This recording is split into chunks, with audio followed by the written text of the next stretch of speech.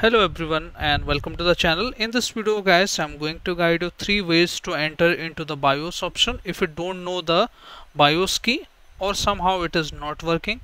So don't worry I will show you three ways you can directly enter into the BIOS option. Now the first option is you just need to on your system or laptop you just need to press shift key on your physical keyboard while you need to click on your screen and then you need to press and hold the shift key then click on restart and simply click on restart option here.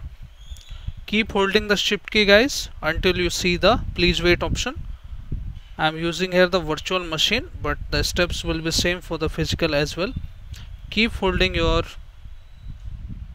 shift key.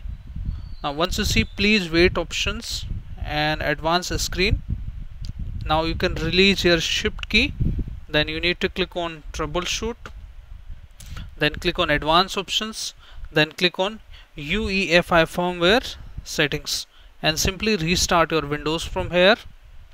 And you should able to access your as you can see here you should able to access your BIOS. So this is the first method okay? Now let me go to the back and I will show you another steps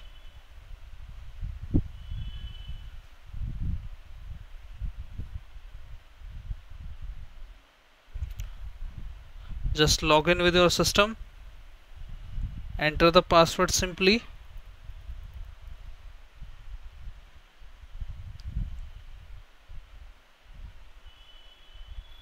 Now click on your start menu windows 10 or 11 just click on settings. And once you click on settings here you need to click on here system. And once you click on system option you should be able to see your recovery option here just click on recovery. As you can see here startup advanced startup option is showing up here. So just click on restart. And you will see please wait. Once you click on restart option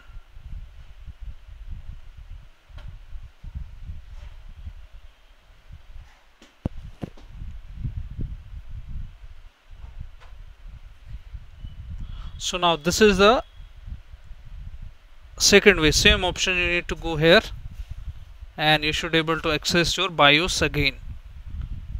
Okay? And now I will show you the third way with the help of command prompt directly. I will show you. You just need to you just need to enter a simple command and after that you should able to access your BIOS screen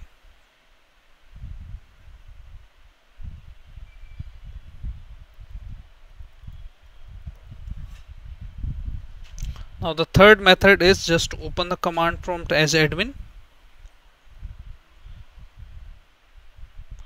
So once you open the command prompt as administrator guys you need to type for the command shutdown. Now give space then the forward slash r means restart space forward slash fw fw is for restarting the windows into the firmware or the BIOS. Then click on space forward slash again t space then 0 t means time and 0 means we are giving the 0 seconds. Just press the enter key and your window will be directly restarted into the BIOS option. As you can see here. So these are the three simple methods to enter into the BIOS if you don't know the physical key on your system so i hope guys this video is really helpful for you. If yes then hit like subscribe and share.